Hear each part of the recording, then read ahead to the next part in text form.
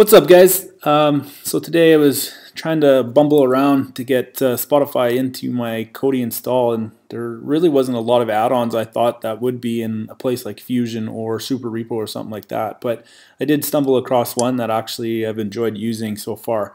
Uh, it's called SpotiMC. So I'm just going to show you quickly how to install this.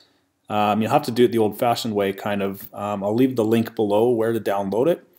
Um, you'll have to save it to whatever device you're using and, and install it kind of the old way of doing things, I suppose.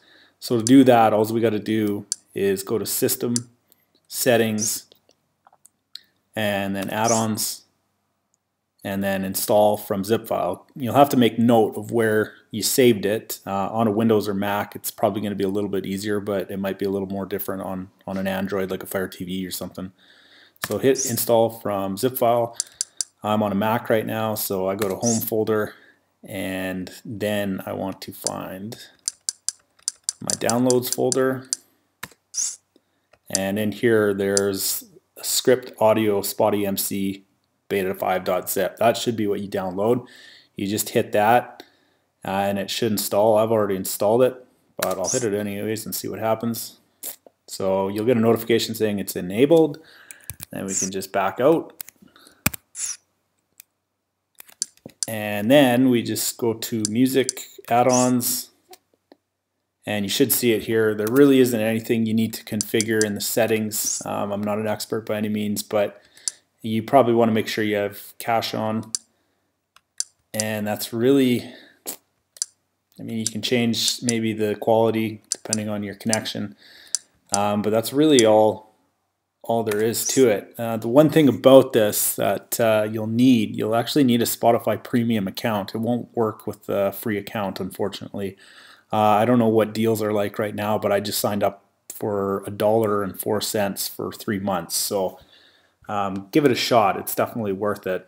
I'll see if this just logs me in. Basically, what will happen is when you click Spoti MC, it will ask for your username and password, so you'll have to log in. If you don't have a premium account, you won't get to this screen. Um, the biggest problem I had was kind of playing around. I was trying to find some of the playlists I was I would play through my app, but I had to go in and and manually follow those uh, through the web player or or the app itself on my cell phone. Um, but as you can see, there's some of the new songs on Spotify here. Um, your playlists up there. You can search for certain songs and and you can add you can add them to a playlist through here so um, we just open this up. I think I'm not going to play it for too long because they'll probably get flagged. So you want to hit toggle star and you'll see a star show up there now. So if you go into your playlist now you'll see starred and so there's one of the tracks and there should be another one in here. I don't know where it is but you get the idea. It's it's just easier for me. I found to do do all the setup with your playlists, add your playlists and whatnot through the web player, and then and then come back. I mean, you can do it through here, but it's just so much easier the other way.